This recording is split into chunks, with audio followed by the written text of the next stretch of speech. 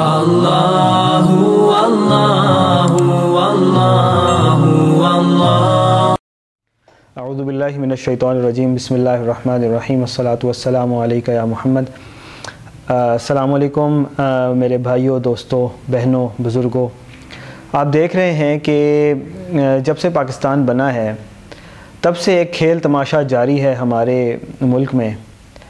और ख़ुसूस मुल्क के ऐवानों में ऐवान इकतदार में हर वक्त एक खलबली सी मची रहती है। और जब भी हमें लगता है कि अब शायद आ, हम कुछ आ, सुकून से कुछ तसल्ली से अपना आ, मुल्क का काम चलाएँगे और आ, कोई काम करेंगे तो फिर से हमें अपने जो ऐवान हैं और जो साहिब इख्तियार लोग हैं उनके दरमियान कशमकश नज़र आने लग जाती है। असल में ये जो पूरा एक सिस्टम बनाया गया है, ये ऐसे नहीं है कि किसी बग़ैर सोचो विचार के बनाया गया हो।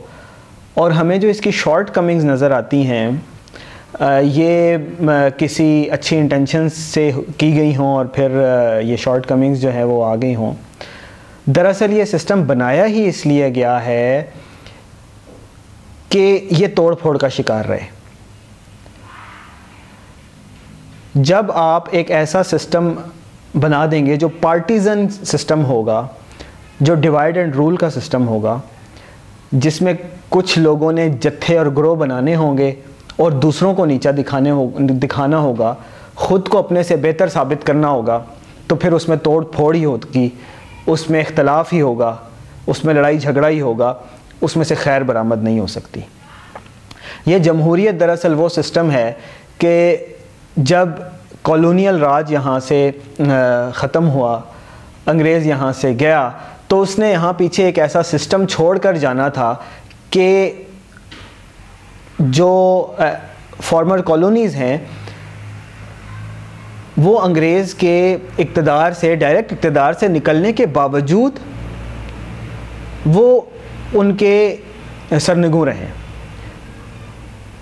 और ये पॉलिटिकल सिस्टम जिसको सो कॉल्ड डेमोक्रेसी कहा जाता है, ये डेमोक्रेसी डेमोक्रेटिक सिस्टम है ही ये कि चार लोग एक तरफ़ इकट्ठे हो जाएँ और बाकी तीन लोगों को बुरा भला कहना शुरू कर दें। वो तीन लोग भी दो और लोगों को जमा करें और इन लोगों को बुरा भला कहना शुरू हो जाए।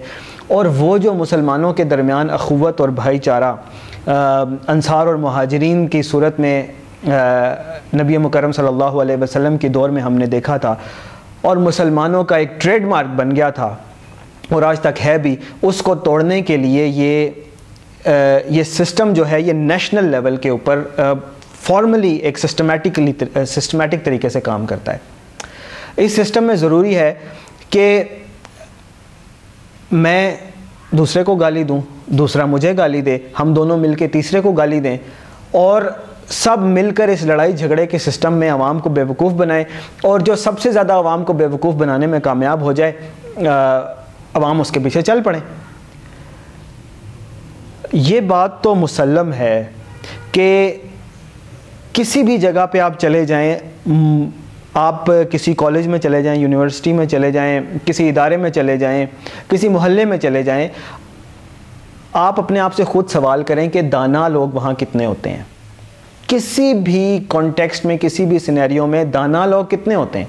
अगर कोई प्रॉब्लम आ जाए, कोई मसला हो तो हमेशा आप देखेंगे एक या दो लोग जिनको दाना समझा जाएगा, समझदार समझा जाएगा। या तो कोई भी नहीं होगा, या फिर एक, दो, तीन लोग होंगे जो एक्सपर्ट्स होंगे। किसी किसी ऑफ़िस में, किसी फैक्ट्री में अगर कोई प्रॉब्लम आ जाती है तो कहेंगे, यार, ये प्रॉब्लम किसी से नहीं सॉल्व हो रहा, ये फ़लाँ बंदा इसका एक्सपर्ट है, वो पुराना बंदा है वो डोमेन मैटर को जानता है, उसको बुलाएँ, वो उस मसले को अच्छी तरह समझेगा। घर में कोई मसला हो जाए, अल्लाह ना करे तो क्या कहा जाता है कि, जी, फ़लाँ बुज़ुर्ग हैं, फ़लाँ बड़े हैं, उनकी बात, उनसे हम कंसल्ट करते हैं, वो यकीन अच्छा मशवरा देंगे। इसी तरह class college university office factory हर जगह जहाँ पे भी इंसान मौजूद हों, ये बात मुसलम हकीकत है जिससे नज़र नहीं चुराई जा सकती कि जो समझ बूझ वाले हमत वाले, अक्लमंद लोग होते हैं, वो हमेशा आटे में नमक के बराबर होते हैं। और यही हाल सोसाइटी का भी होता है कि पूरी की पूरी सोसाइटी में मोस्टली आवाम जो हैं वो वो उतने समझदार नहीं होते जितने के कुछ लोग होते हैं।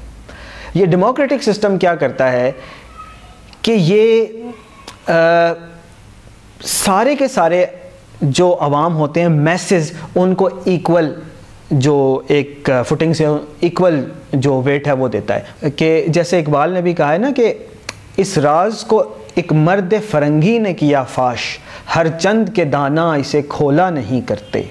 जमहूरियत एक तर्ज हुकूमत है कि जिसमें बंदों को गिना करते हैं तोला नहीं करते। आप सबको एक वेट दे दें। कोई क्वालिफाइड है कोई एक्सपीरियंस्ड है आ, किसी को फैक्ट्री चलाने का तजर्बा है किसी को आ, किसी को फॉर्मर हुकूमत चलाने का तजर्बा है किसी को आ, किसी को किसी को आ, इल्म किसी के पास ज़्यादा है किसी के पास इंफॉर्मेशन ज़्यादा है कोई साइंटिस्ट है कोई डॉक्टर है और सबको एक ही आप वेट दे देते हैं। तो अब जब किसी भी जगह पे आप सबको इक्वल वेट दे देंगे और इक्वल वोटिंग करेंगे क्लासरूम की एग्जांपल ले लें क्योंकि काफ़ी ऑडियंस हमारी यंगस्टर्स हैं और जो यंगस्टर्स अब नहीं भी रहे, मेरी तरह तो उन्होंने भी क्लासरूम तो इन्वायरमेंट देखा होता है। तो अगर आप किसी भी क्लासरूम में वोटिंग करके किसी को सी आर बनाए तो क्या होगा? ज़्यादातर स्टूडेंट्स ऐसे होंगे जो शरारत को पसंद करते होंगे जो पढ़ाई की तरफ़ आ, कम ध्यान और बाकी चीज़ों की तरफ़ ध्यान ज़्यादा होगा तो वो किसको चुनेंगे? आ, वो ऐसे बंदे को चुनेंगे जो आ, जो उनको अलाउ करे शरारत करने में टीचर तक बात ना जाए होमवर्क कम मिले ऑब्वियसली तो वो एक क्लास में एक इन्वायरमेंट पढ़ाई के बजाय उस तरह का हो जाएगा जिस तरह स्टूडेंट चलाना चाह रहे हैं। हालाँकि क्लास का डिसिप्लिन बनाया इसलिए जाता है कि क्लास का इन्वायरमेंट इस तरह चलाया जाए जिस तरह इंस्टीट्यूट या टीचर चाहता है। तो अगर आप ये वोटिंग करके चीज़ें करना शुरू कर दें तो वो अदर वे राउंड हो जाएगा। यही हाल हुकूमती सतह का भी है कि जब आप वोटिंग करा के लोगों से काम कराते हैं तो अपने में से ऐसे ही लोग सामने आते हैं कि जो फिर हम बाद में देखते हैं कि करप्शन की दास्तानें बनी होती हैं। कहने का मकसद ये है कि ये डेमोक्रेटिक सिस्टम बना ही इसलिए है कि इसमें तरक्की ना हो सके। ऐसे लोग हमेशा सामने आए कि जो किसी भी मुल्क के लिए किसी भी किसी भी आ, स्टेट के लिए लोगों के लिए उस कदर खैर खा नहीं है जैसे उनसे ज़्यादा खैर खा लोग मौजूद होते हैं। और इसी तरह साथ में इसकी डबल साइडेड स्वर्ड है कि साथ में अपने ही लोगों को आपस में लड़वा दिया जाए। सब मुसलमान भाई भाई होते हैं, लेकिन जब सियासत की बात आती है तो नून लीग वाले पहले पीपल्स पार्टी को गाली दे रहे होंगे, पीपल्स पार्टी वाले नून लीग को सड़कों पे घसीटने की बात कर रहे होंगे। जब तीसरा बंदा आ जाएगा तो दोनों मिल के उसको हुकूमत से उतर उतारने की बात कर रहे होंगे। चौथा आ जाएगा तो सारे मिलकर किसी सियासी या मज़हबी तंजीम के ख़िलाफ़ हो जाएँगे। और कभी सियासी मज़हबी तंजीमें किसी किसी और पॉलिटिकल पार्टी के ख़िलाफ़ हो जाएँगे। मार कुटाई की बात होगी, इसी में लड़ाई झगड़े भी होंगे। एक दूसरे के ख़िलाफ़ कोई टायर जला रहा होगा, अमलाक को तोड़ा होगा। उसी, दूसरी तरफ़ से हुकूमतें कभी फायर खोल देंगी, कभी गिरफ्तारियाँ करेंगी। ज़ोर तोड़ चलता रहेगा। और अगर हमें ये लग रहा है कि ये सिस्टम ठीक होने जा रहा है।